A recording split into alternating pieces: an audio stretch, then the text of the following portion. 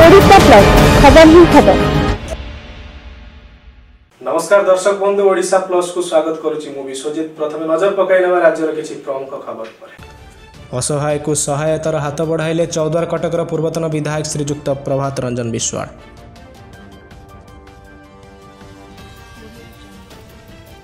ରାଣୀହାଟ ଗୋପାଳ ସାହିର ବେଲେଶ୍ୱର ମନ୍ଦିରରେ ଶୀତଳ ଷଷ୍ଠୀ ଉତ୍ସବ ପାଳିତ।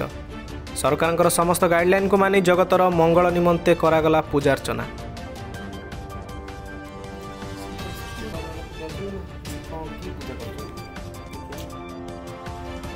ଡ୍ରେନେଜ୍ ସିଷ୍ଟମ ଏବଂ ବର୍ଜ୍ୟବସ୍ତୁ ନିଷ୍କାସନ ନିମନ୍ତେ ଅସନ୍ତୋଷ ପ୍ରକାଶ କଲେ ଜଗତପୁର ଅଠଚାଳିଶ ନମ୍ବର ୱାର୍ଡର ବାସିନ୍ଦା।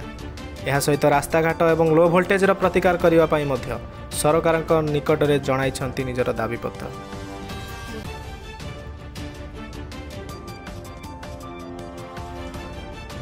ତ୍ରୁଟିପୂର୍ଣ୍ଣ ବିଦ୍ୟୁତ୍ ବିଲ୍ ସଂଶୋଧନ କରିବା ନେଇ ଦାବି ଜଣାଇଲା ଜଗତପୁର ବିଦ୍ୟୁତ୍ ଉପଭୋକ୍ତା ସଂଘ।